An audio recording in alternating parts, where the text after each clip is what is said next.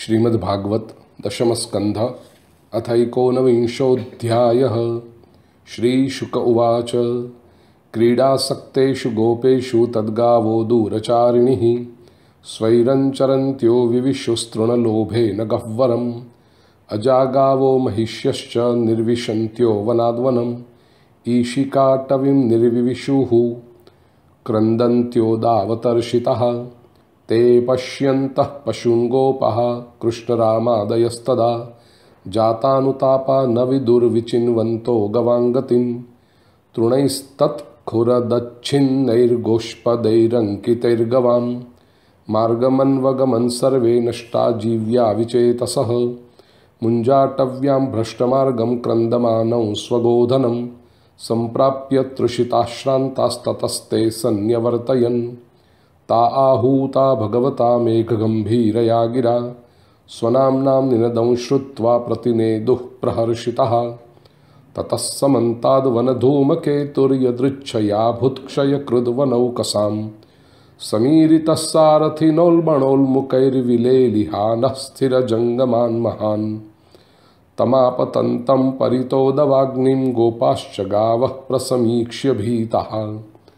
उचुश्च कृष्णं सबलं प्रपन्ना, यथा हरिं मृत्युभयार्दिता जनः।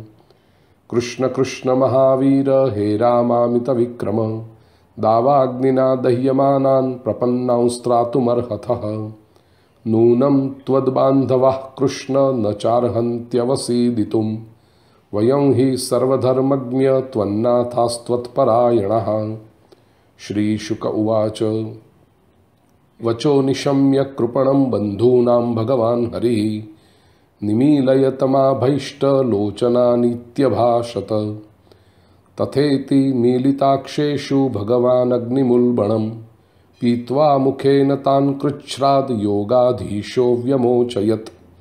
ततश्च ते क्षिण्युन्मील्य पुनर्भाण्डीरमापितः। निशाम्य विस्मिता आसन्नात्मानङ्गाश्च मोचितः कृष्णस्य योगवीर्यन्तद् योगमायानुभावितं दावाग्नेरात्मनः क्षेमं वीक्ष्यते मे निरेमरम् गाः सन्निवर्त्य सायाह्ने सह रामो जनार्दनः। वेणुं विरणयन् गोष्ठमगाद् गोपैरभीष्टुतः। गोपीनां आसीद् गोविन्ददर्शने क्षणं युगशतमिव यासां येन विना भवत्। इति श्रीमद्भागवते महापुराणे पारमहंस्यां संहितायां दशमस्कन्धे पूर्वार्धे दावाग्निपानन्नामैकोनविंशोऽध्यायः। श्रीकृष्णार्पणमस्तु।